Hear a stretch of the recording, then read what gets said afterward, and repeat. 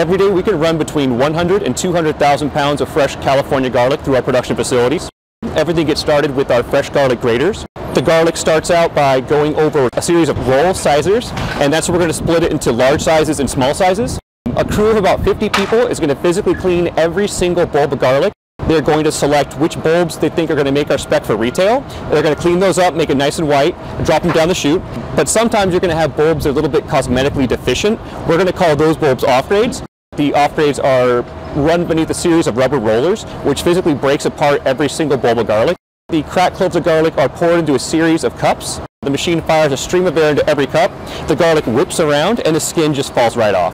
From there, it's going to enter the first of our two optical sorters, and this one's scanning to see if any skin was left on any cloves. From there, it's going to run through an ozonated wash, which is a microbial kill step. After that's our second optical sorter. This optical sorter is going to be analyzing every clove of garlic for any kind of defects or decay. If it detects it, it's going to fire a stream of air and get it out of the line.